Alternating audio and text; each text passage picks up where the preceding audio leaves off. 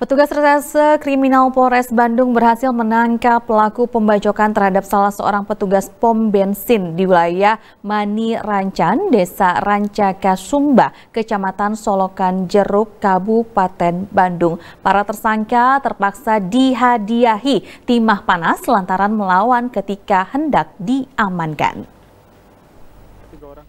Inilah SS, I, dan AK Tersangka pembacokan terhadap Yusman, petugas pom bensin di wilayah Kampung Manirancang, Desa Rancaka Sumba, Kecamatan Solokan Jeruk, Kabupaten Bandung. Polisi menghadiahi para tersangka dengan timah panas. Kejadian pembacokan tersebut terjadi pada Selasa lalu dan sempat terekam kamera pengintai atau CCTV dan sempat viral di media sosial. Dalam rekaman tersebut, tampak tersangka SS yang berperan sebagai eksekutor langsung membacok Yusman secara membabi buta dengan menggunakan senjata tajam jenis golok. Menurut Kapolres Bandung AKBP Indra Hermawan, tersangka membacok korban akibat dendam lama. Kejadian ini bermula ketika ketiga pelaku tiba-tiba datang memanggil korban, lalu terjadi cekcok mulut dan berakhir dengan peristiwa pembacokan.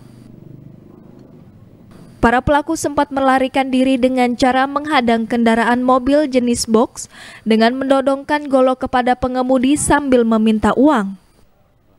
Dari tangan tersangka, Pihak kepolisian selain mengamankan topi korban, juga menyita barang bukti sebilah golok serta uang sejumlah 7 juta rupiah. Ya, jadi pasalnya untuk tersangka ini, yang pertama penganiayaan ketika terjadi pom bensin, yang kedua yaitu ketika dia merampas mobil ini termasuk mengambil uh, tas yang berisi uang. Motifnya apa Pak? Motif pembacokan? Ini uh, motifnya masih kita dalami, ini mungkin memang sudah ada eh, permasalahan sebelumnya antara si tersangka dengan korban yang di pom bensin. Guna mempertanggungjawabkan perbuatannya, para tersangka terpaksa harus mendekam di balik jeruji Mapolres Bandung dan terancam pasal 351 dan 365 KUH pidana dengan ancaman hukuman 12 tahun penjara. Rezita Prasaja, Bandung TV